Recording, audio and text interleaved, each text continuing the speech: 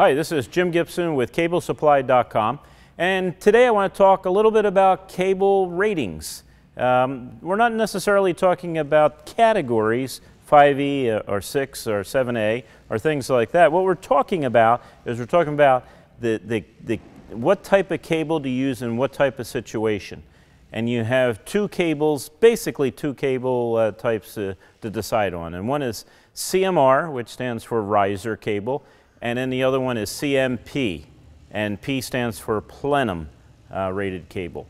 So there are your two types of cables. Now, plenum rated cable is always going to be twice as expensive as riser cable. It's the same exact copper inside, the same electrical characteristics in both cables. The difference is, is the covering on the cable. It's, it's the, the sheath over the cable, and it basically deals with fire code. So when do you use CMR and when do you use CMP? Let's take a look and I'll show you. Now remember, we're not talking about the category of the cable. We're not talking whether it's Cat 5e or Cat 6. Um, that's something you need to determine based on your needs. And, and, of course, I always say that if you're going to be in the building longer than five years, then you should, you should cable at the highest possible category you can. But what we're talking about today is the coating on the cable, whether it's what they call plenum rated or what they call riser or, or vertical cable. And um, there is a difference between the two, and you got to pay attention to code. Now, another thing to consider is that plenum rated cable is twice as expensive as the other cable. Um, the CMR cable, which is the riser cable, vertical cable, you can use it in a vertical uh, uh, situation, is also called PVC um, or non-plenum cable. Remember that there is no difference electronically between the two. So don't use plenum rated cable where you're not required to use it uh, according to code. So what is a plenum? That might be the next question and you should understand this because remember your local code determines whether or not you need plenum cable or, or uh, CMR cable. CMP cable plenum or CMR riser cable, PVC cable. So let's look at what it is and what, it, what the difference is. And remember, plenum rated is based on fire ratings. When it burns, uh, it gives off less toxic fumes. It, it, it doesn't burn as easily. So you only need that in certain situations. And let's take a look. I'm going to draw on the board here. I'm going to draw it out for you. So let's say this is your uh, building. Um, Commercial building. Uh, we deal with commercial buildings most of the time. Has a little door in there, you know, you got windows and stuff like that all around here.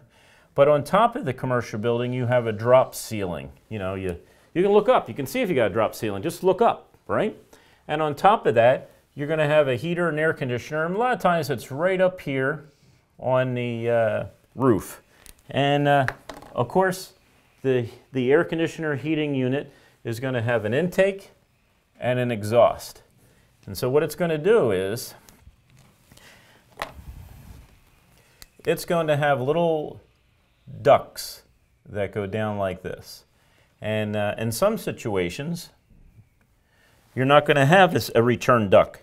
And what's going to happen is, is the air that circulates around in here is going to go through right up here in the plenum area. That's called a plenum area then go into the air conditioner, and then be air conditioned or heated and return to the living area.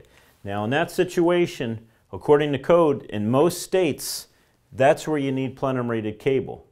So what you want to do is you want to find out, is your ceiling being used as a plenum, as an air duct? If it's not, then you can use a PVC cable, or also what's as known as CMR cable.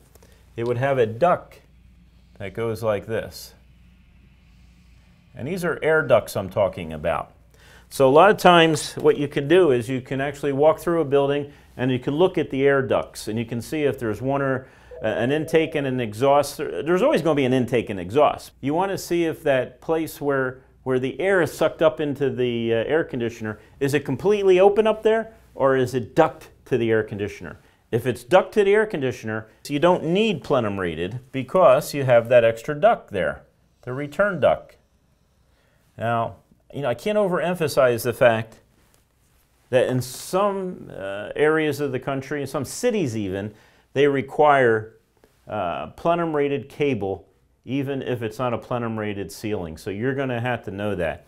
Uh, I know uh, in some places in California, Southern California, um, they also require anything over three stories that the, the whole building be cabled in plenum rated cable. It's going to double your costs. It's not going to give you any advantage electronically.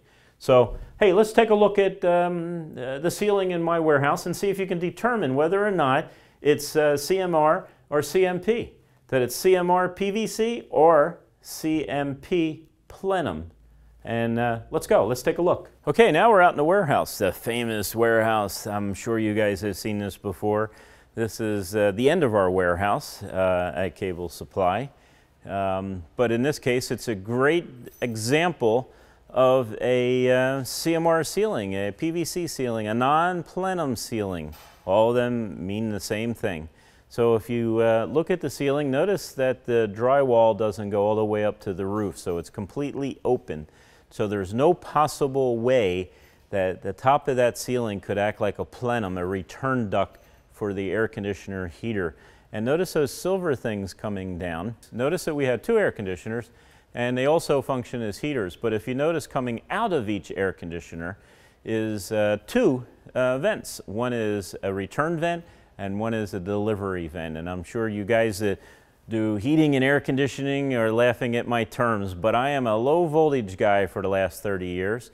And so that's what I call them. Um, but at any rate, this is so obvious that this is a, a uh, non-plenum ceiling that it just screams non-plenum. So to put plenum cable up there would just be a waste of money. It doesn't give you any advantage, it doesn't help you in any way, and it just costs a lot of extra money. Um, you know, if you have questions about this or if you need help picking the category of cable for your project or your installation, we have technicians here that man the phones and we're more than happy to help you at any time. So don't hesitate but to call us. And uh, again, this is Jim Gibson with cablesupply.com and thank you for watching our videos. Please uh, follow us on YouTube and like us on Facebook and um, give us a call if you have any questions. Thank you for watching. Hi, this is Jim with CableSupply.com. Hi, this is Jim from CableSupply.com. Hi, this is Jim with CableSupply.com, and today I'm going to show you how to cut a hole in the drywall. Hey guys, thanks for tuning in to this YouTube installment of CableSupply.com.